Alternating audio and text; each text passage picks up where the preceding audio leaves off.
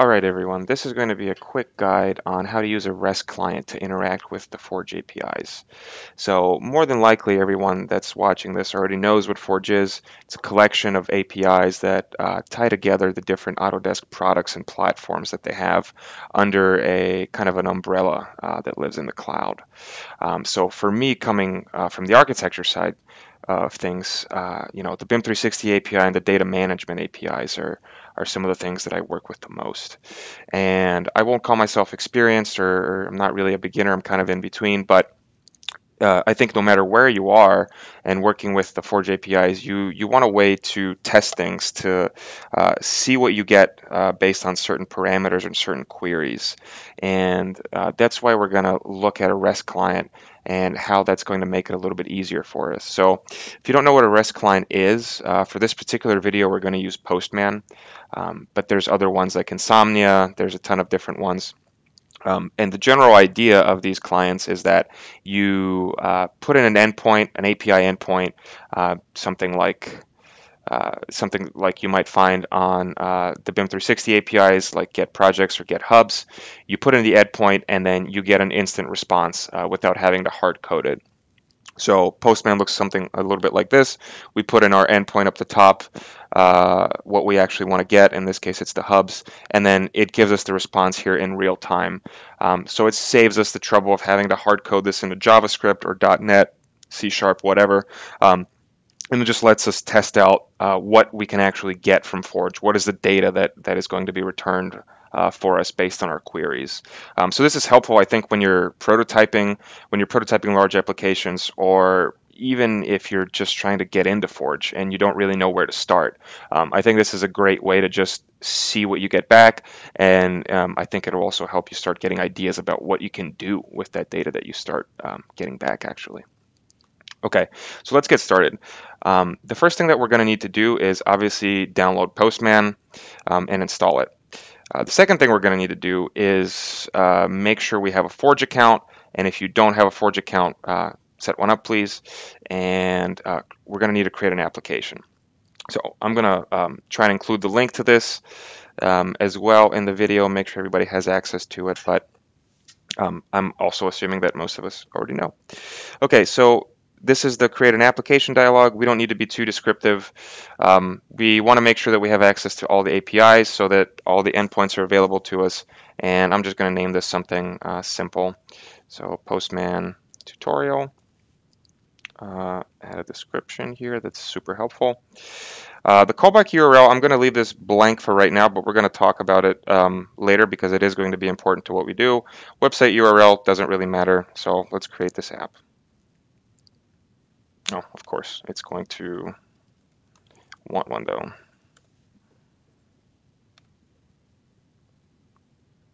Okay, now that we've hoodwinked it into thinking we have an actual callback URL, we have our app and it's created. Okay, so for the purposes of this tutorial, we're going to use this client ID and this client secret. Um, please be sure to create your own app though, because after I'm done recording this video, I am going to delete this app uh, because it's, uh, you know, obviously it's a bit of a security issue if people are using uh, the same information to um, do things that they're doing and not do things that I'm doing. So once we have this set up, uh, let's fire up Postman, uh, have it installed. So let's get that going. Uh, your Postman is obviously going to look pretty bare bones. It's not going to have these folders and, and this kind of stuff in it already pre-populated, um, but not to worry, we're going to do all of that from scratch. So I will show you how to get that done. Okay, so the first things first, uh, we're going to need to set up an environment. Um, and an environment is, is kind of exactly what it sounds if you've um, done any Python or if you've um, done any, I guess, JavaScript work, you know that an environment has dependencies, an environment has variables, um, and same thing here. We're going to need to set up that information so we don't have to manually enter that in every time, or so that we don't have to hard code it. Um, so up here in the upper right, where it says no environment, uh, we click the gear icon. I have one already set up, but I am going to add a new one. Uh, just to show everybody how it's done. So let's call this uh, Forge tutorial. And then here you can see that we have some placeholders for variables and for values. So this is where we are going to need to put in things like our client ID and our client secret. Okay. And I'm just going to copy these from here again. Um, one more reminder just to uh, be sure that you make your own and you don't just copy these from the video because they will not work after this. So we're going to put that in. Um, it's going to populate the current value once we put in the initial value. Great. Um, and then we're going to just click add. Great. All right. So our environment is now here. We can click at it at any time. We can change things. We can add more uh, variables, more information. Doesn't really matter. Um, but it's created. And now that it's created, we actually need to set it. So in the drop down here, click it. We got Forge tutorial and we're good to go. So now that we have the environment set up, we need to create one of these buckets for us. Um, if you see here, I've, I've grouped mine based on OAuth type, uh, but you can group them however you want, really. I mean, um, maybe it's per application, maybe it's per project, maybe it's per team. It absolutely doesn't matter. Um, but we go here to create a new collection, as it's called. And so I'm just going to call this um, Postman tutorial. We're going to add a super descriptive description, of course. Um, and then we're going to need to set up authorization.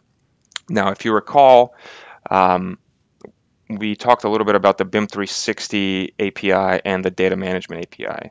For a lot of operations in those APIs, like the, for example, publishing a model, uh, you'll notice that the documentation requires a three three-legged OAuth token.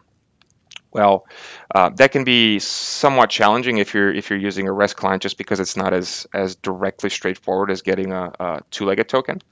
Uh, so I'm going to show you how to do that.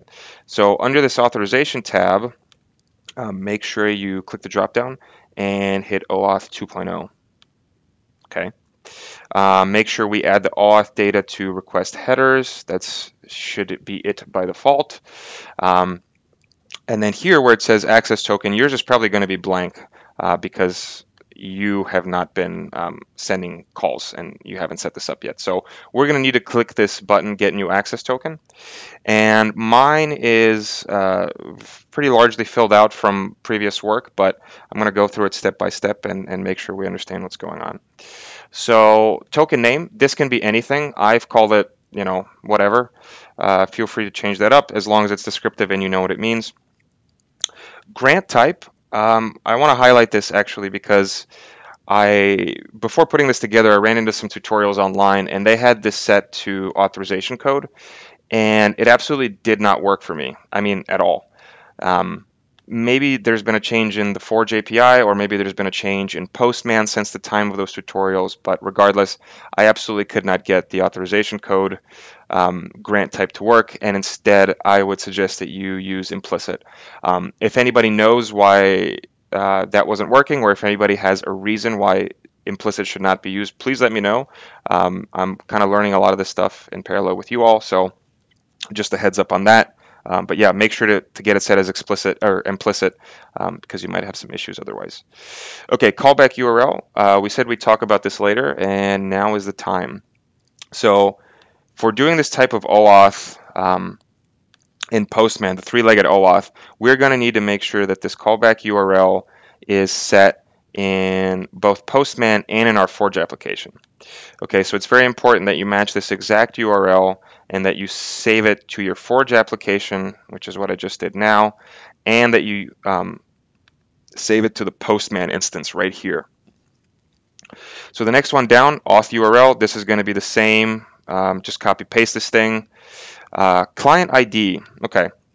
So you might be wondering where we're getting this from. So if you remember a little bit earlier on, we set up that environment and that's exactly where we're pulling this from. So instead of having to hard code this every time or, or send it every single time, uh, we use this uh, double curly bracket notation. We get some autocomplete popping up, and then this uh, lets us know that you know some variables are in our um, environment that we can just use. So I'm going to use the client ID. Um, and this is this is nice both for from a security standpoint, but also from a shareability standpoint. You know, you might want to you might want to share your API calls with a collaborator or a partner, but you might not want them to have access to your client ID, right? You might want them to be using theirs. So um, keeping this information in your environment rather than your calls is is definitely a good practice. Um, scope, I have several scopes here set up. Um, feel free to add as many or as few as you want. I think those are documented pretty well in the BIM 360 API documentation. Um, for a lot of this, you probably will just need data read, um, but it's totally up to you. Um, state, I've set that, uh, I've just kind of left that to be blank, uh, fill it out with the default stuff. And for the client authentication, we want to make sure that we set it to the send as basic auth header. Um, so now that we have this filled out and it you know matches the structure pretty closely, we can click request token and see if it actually works. So the first thing it'll do is it'll pop up a little window like this. And the first ever time you do it, it's going to want you to put in your email and your Autodesk password. I've obviously made a bunch of calls, so it, it has that saved to cookies. But um, if this is your first time, you're going to need to actually actually log into um, Autodesk and make sure that you do have authorization to um, access the files that you're trying to access. So once you get to here, we're just going to click allow. And this window here lets us know that we do now have an access token and we can use, uh, we can make calls from it. So we say use token and great, that's all set up. Um, I won't go into any of these other tabs here for now. It's not really important to what we're doing. Uh, I'm just going to click create and we're just going to um, be able to access our new our new collection here. Okay, so right now it's empty. So like the little tooltip says, we're going to actually need to add a request to do something. So let's do that. So the first one I'm going to do is just a super basic one that we looked at, um, I think earlier, which is the uh, get hubs. So for example, let's say I'm going through this tutorial, you know, I want to publish a cloud workshared Revit model. I go down and I get to step one and it's pointing me to this uh, get hubs thing. Um, so if you're a beginner, you might be wondering like, what you know, what is that? What is it? Like, what is it going to give me? Um, they have some examples here, of course, response examples and request examples, but especially if you're a beginner, I, I find that to be, you know, sometimes a little bit overwhelming. Um, and you know, conversely, if you're experienced, uh, you might completely understand this example, and it might be very, very clear to you. But you might want to see your data here, as opposed to this kind of you know boilerplate generic stuff. You might want to um, actually see if your response looks like this response. So that's where Postman comes in. Um, so the first information that we're going to need to grab from here is this right here, which is the URL. So we're going to go uh, we're gonna, sorry, keep that copy to the clipboard. I forgot I didn't finish actually making the um, the request. So we're gonna need, need to name this. So we're gonna call it get hubs, and I'll add the tutorial flag just so I know what this is. Of course, as always, we have to be as descriptive as possible, and we're gonna save this guy. So when you click when you click the new request, you're gonna notice that it's very very empty. Um, and the first step is going to be pasting uh, that copied URL up here um, and making sure to set whether it's get or post or you know whatever it says in the BIM 360 documentation. In this case, it's get. Okay, so we're going to do get and we're going to look at our URL here. We're going to make sure that there's no variables, there's nothing um, that we actually have to add in. We're also going to briefly skim the documentation and see what kind of headers we want. So it looks like it wants, of course, our authorization, um, but nothing really else. So that means that we should be pretty safe to make this call. So let's give it a shot. Let's click send. And there we go. So you can see that you know instantly we're kind of we're getting this feedback, we're getting this response, and this response is specific to our account. It's specific to our, uh, in this case, BIM 360 setup. Um, and you know, of course, why the reason why this is pretty neat is because you can start to chain a number of these together, and without actually having to write any JavaScript or .NET or code, you can very quickly uh, query things and um, just see see see what you get and see what the data is. Um, okay, so that's a pretty basic request, right? We don't actually add any information to the end uh, or to the request itself. If we start getting a little bit uh, deeper into, um, let's use, continue to use this tutorial as an example, but if we get a little bit deeper into these workflows, we start getting to the point where um, we actually need to add in uh, variables.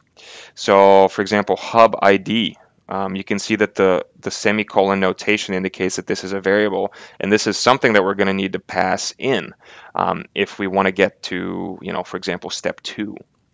So Postman is pretty nice about doing that, I think at least. Um, so let's go to this method here, or this endpoint, sorry. Um, so you can see that right here, it's parsed out. Um, if we copy that, and if we go to Postman, and I'm just going to replace this, pretend like it's a it's a new one, but and you can see that as soon as I pasted it in, it recognized that um, that variable and it added it in as a parameter. Okay, so if you wanted to now fire off this method, uh, you could very easily just fill in the value here of a hub ID and fire it off. So I'm going to do that really quickly. Uh, for example, this is this is a, a hub ID that I got back in my first call. So I'm going to do something like that. Hub ID, boom, send. Great. And now that's giving me, you know, projects that are specifically in that hub. All right, let's go back to the normal one. Great. So you can see that, you know, pretty quickly you can you can uh, really test out a, a, number of calls, a number of methods just by entering in key and values uh, here and seeing what you get back. Um, and again, the great thing about Postman and other REST clients is that you can very easily share this stuff. Um, you can build out a collection of methods um, and share this with your coworkers, with your team, whoever else you're collaborating with. Um, you can easily share it so that you guys are all testing in the same uh, on the same platform and and you're pretty agile uh, with the kinds of logic you're trying to test out. Um, additionally, there's uh, some pretty great existing resources about uh, Postman on a two-legged authentication. Uh, I'll try and post the link as well. Um, again, there just weren't a lot of resources for three-legged OAuth, so I wanted to include that as well. Um, thought people might find that helpful.